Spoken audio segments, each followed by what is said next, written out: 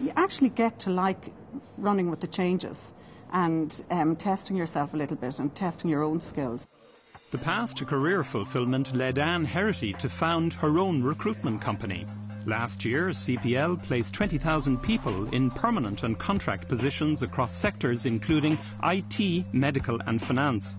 What started as one good idea has grown into a group of eight specialist recruitment companies.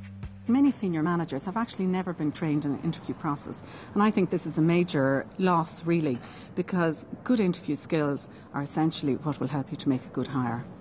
We get close to our clients, we get to understand the culture of their company, the type of individual they're looking for, and not just the skills. Actually, if you're just looking for specific skills, good technology will help you to source that. But actually, it's not just about skills, it's also about attitude, it's about cultural fit, and it's about how the individual feels and what value they want to bring to the company in order to hire right, you have to be searching in the right pool.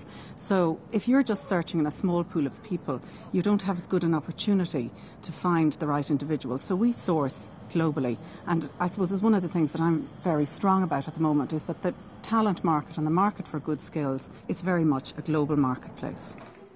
We place somebody every 15 minutes of every working day in a permanent job. And throughout the course of the year, we will have over 16,000 people working on client sites for us.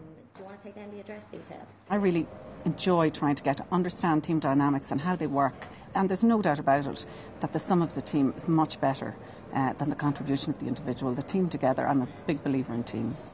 I like the accountability.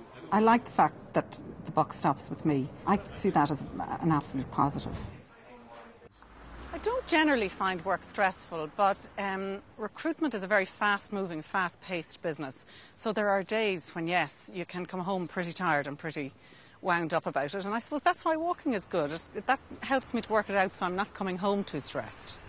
I quite like time to myself, I have to say. I like to spend a little time on my own. You need a little time for reflection and for thinking about life and thinking about where you're going and setting new goals and things like that. I think that's quite good certainly with CPL, I would think you always have to try to be a couple of steps ahead.